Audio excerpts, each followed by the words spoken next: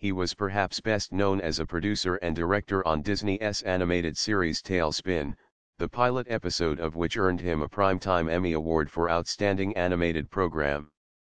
Latham worked on several other Disney productions as a storyboard artist or designer, including Disney's Adventures of the Gummi Bears, Chip and Dale Rescue Rangers, and DuckTales the Movie, Treasure of the Lost Lamp.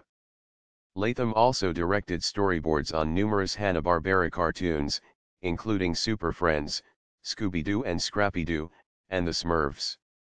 For Marvel Productions, he was storyboard director on My Little Pony and Friends and Spider-Man.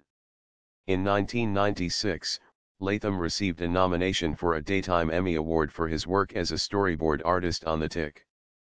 More recently, Latham worked on several direct-to-video features for Universal Cartoon Studios. Among these were An American Tail, The Treasure of Manhattan Island and An American Tail, The Mystery of the Night Monster, both of which he produced and directed. In 2008, Latham began writing, drawing, and publishing a webcomic called Lovecraft is Missing, a project inspired by the works of H. He released the first pages on October 1, 2008, and kept the comic going until his death from cancer on November 2, 2014.